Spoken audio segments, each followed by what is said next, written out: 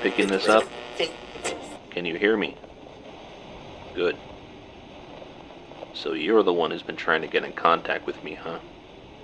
The rookie who wants to know all about the zone and what lies within?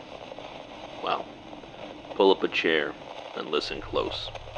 We'll start at the beginning. April 26th, 1986. The day the world would change forever. The Chernobyl nuclear power station exploded in a fiery blast that could be seen from nearby towns.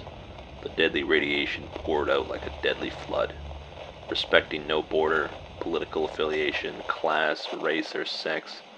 It just swarmed and killed, and remains a threat to every stalker, even today. But let's not lose focus here. On April 12, 2006, a new explosion erupted somewhere near the power plant with a bright light that evaporated clouds and triggered a devastating earthquake. On June 10th, the first emission occurred and the zone expanded by 5 kilometers.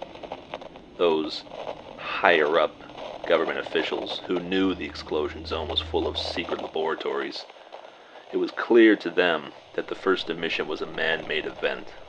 Now, I know what you're thinking sitting there near the cordon in your cozy bunker, who would be so twisted as to purposefully create a place as horrid as the zone? Well, maybe it's not so black and white as all that.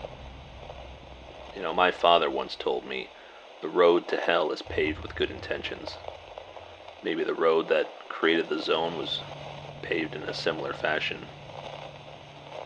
Anyway. The men responsible were only referred to as the group. They were experimenting on something called the noosphere, some sort of psionic metadimension that covers the whole planet that the eggheads say links all humans to each other. A lot of $5 words and mumbo jumbo, I say. Whatever the group was working on, it went wrong. Or maybe it went right. Either way, it tore some kind of rift in the noosphere, and from it, the zone was born, with its riches and its horrors. That's not to say all the news is bad. If you've got the guts, the skill, and you can bribe some tired military official to let you in, the zone offers many opportunities for business. Some who come here resorted to petty banditry, of course picking corpses, scavenging crumbs, and hustling for pennies. Others are hired guns for foreign interest, looking to make a sweet payday, harvesting some of the sought after treasures the zone holds within. Some came to the zone looking for a cause to fight for, and there's no shortage of those types around here. Waving flags, carrying insignia, getting into squabbles over their ideologies. Regardless of who you might team up with during your time in the zone, Everyone has different opinions about it. Some say the zone is impossible to understand, that it warps reality and the human brain just can't comprehend it. Some say the zone is alive, that it's a living thing that wants to spread and engulf the world.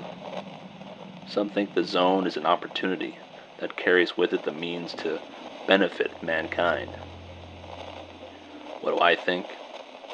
I think there are as many opinions about what the zone is or wants as there are stalkers that hold those opinions.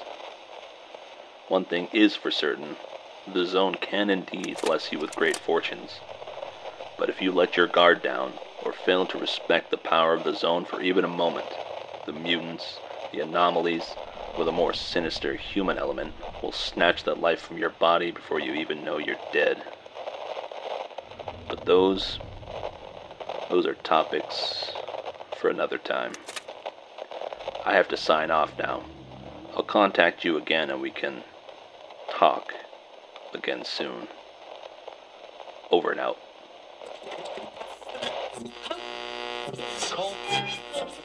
Uh,